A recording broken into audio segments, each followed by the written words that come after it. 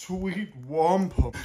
So you gotta grab them. Well, this is quite the predicament. Uncle Ben took a few more Benadryl than he should have. We have a sturgeon now. Just give me the bad Oh, I think Markiplier got pregnant. But take a look at this. Duck moment is usually, oh, Good evening, everybody. I'm feeding this cringe uh, uh squirrel. You gotta feed him very slowly. But take a look at this. I'm gonna show you guys how to bottle feed an orphan squirrel. I do it very, very slowly because I love this little bean and I don't want him to aspirate. So I let him do it at his pace. Look how slowly I'm moving the syringe. And I'm only giving this cringe little fella 5% of his body weight in milk replacer. It's real important to latrine them. You wanna go ahead and get a wet paper towel or your finger and just stimulate their butthole and their little pee hole. Kind of nasty, but this is super important. Uh, if you don't do this, they'll die, and this is what their mama would do. Said before, you guys, that you're not supposed to coddle wildlife, but this is a baby. And you're supposed to coddle them a little bit whenever they're this small. They need love. Eventually, we can desocialize them when they're a little bit older. So until this cringe little boy is ready to be moved with other conspecifics, it is important and almost necessary to an extent to coddle them and love on them. And oh, look how he just crawled right under my shirt. But you can't get too attached because these guys do have to go back to the wild eventually. Big ounce in the dro fo today? Big ounce eating the blackberry fo today? Where else can you guys find primo content of Big Ounce eating a blackberry. In 4K 60, no less. Oh, sweet wampum. You know what? If I put this as the title and thumbnail, this would probably get me more views than rescuing a hawk. Or being in a Ferrari accident. All right, guys, this video is for my pet sitter. I'm going to show you how to take care of all the animals here at the ranch, including the wildlife. So come on. As you can see, Patrick here doesn't need to be fed or cared for because he just eats grass. And we have sprinklers here that feed the grass. First stop of my chores, I have to feed these cringe uh, foxes. All of them, except for this one, are terrified of me. I don't know why this one in particular is not scared. The people that were rehabbing these guys illegally coddled this one the most, I believe. Patrick, get out of here. And that's why this one in particular is so friendly. So we actually might have to keep this one. So this one could be an educational ambassador potentially, but these guys over here are very ready to go back to the wild. This guy needs a little bit more work, but these guys just eat kibble, meat, or live prey. Up next, I go over to the raccoon maternity ward. This is where our raccoons are in their pre-release enclosure. Like I said, they make their water disgusting. And this is that one that that woman dropped off that she illegally rehabbed. And she coddled this boy way too much. So that's why he's so friendly. And to these guys today, I'm giving a mix of chicken gizzards and fruit. And I'm also to go ahead and give them some dog food mixed in with this. Even these little guys from All Things Wild are still a little bit too rambunctious. But this little shy boy in the back is probably about ready to be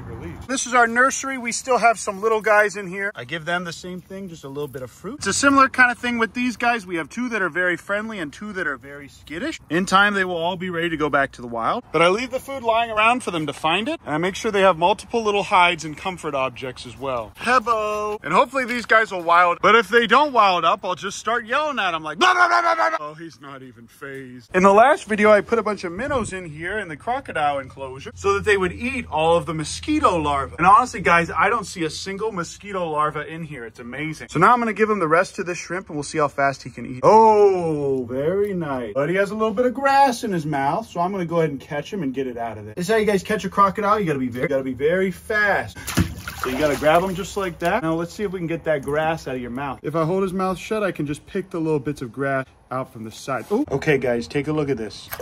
Oh, see, he's so much better than he used to be at catching these in his mouth. And when he's eating, he doesn't mind if I touch him. It's been two weeks since I put this grass in here, and the palm branch isn't completely destroyed yet from rot. But we still have a lot of minnows in here, and I don't see any mosquito larvae at all. And these guys provide good enrichment for him, too. This is one of the best crocodile setups I've ever seen anywhere on the internet for one this size. And the best part is we don't even have to put a heat lamp or any water heater in here at all. After that, I check on my Pob and Queeb and make sure they're fed. But if I've touched the raccoons or any other animals, I won't go in there and pet until I've disinfected myself. Patrick, quit that. But these little puppies have this whole place to run around and play. And when things start to cool down, they'll jump and play on the trampoline. These enclosures are finally done here. We just need to put a safety door on this one. The cappies are being chilling with these chickens in their pool. And I'm gonna have to clean this out pretty soon too. After that, I regularly clean and refill the water for the raccoons. This keeps these precious little babies nice and cool whenever it's it's 108 degrees. And they also have shade here all day because of these trees. The clappy blappies and the goats have plenty of hay for the next two weeks, honestly. It's going to be a good while before I have to replace the feed for these fellas. And this is some nice alfalfa hay and some Bermuda. Cutie Pie and Markiplier are still very friendly, but I think Markiplier got pregnant from that one cringe boy that came over. Who knows when this cringe little fella is going to pop some babies out. But from now on, we're not having any non-neutered rescues come in here and mix with my goats. Thankfully, PewDiePie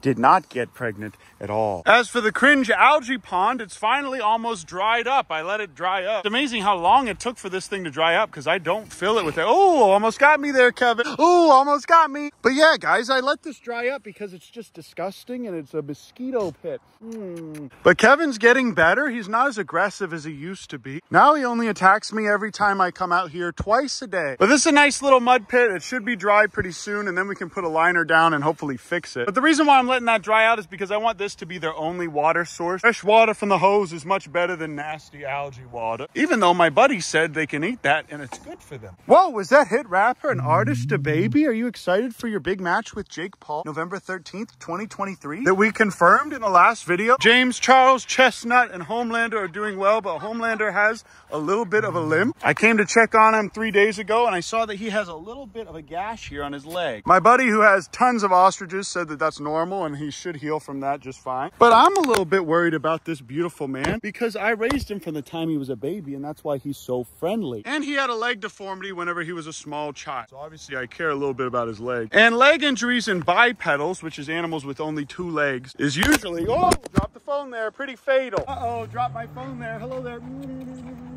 Beautiful guy. It's still filming. Thank you. Thank you.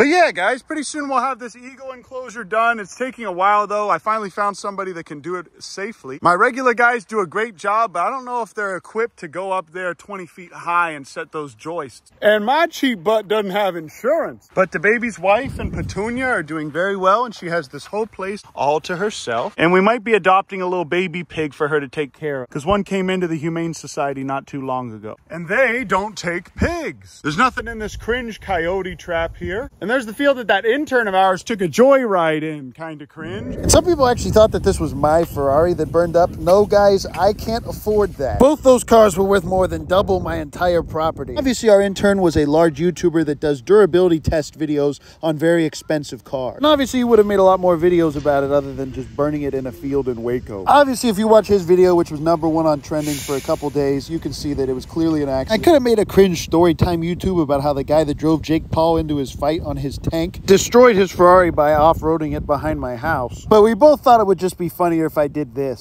See you guys.